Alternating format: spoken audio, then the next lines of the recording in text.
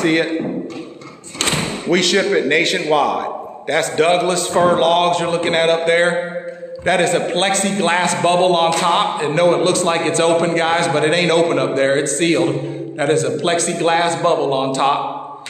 Just to allow all that natural air to, um, all that natural, uh, natural light to come into it. These walls are solid, guys. Listen, ain't no bears getting in these. Big old windows, 47 feet, uh, sorry, 47 by 47. Um, so you're getting almost four feet windows there. 47 inch by 47 inch. Big old windows. Guys, we ship it nationwide. If you would like to see what one of these looks like completely finished, you can go to AmishBuiltCabins.com. The link is in the bio and get some design ideas for how you can finish yours. People get really creative with these, okay? They get super creative with these. You can make this one a two bedroom, three bedroom, one bath, however you want to set it up, okay? Beautiful structure, yoga studio, uh, pool house in the backyard.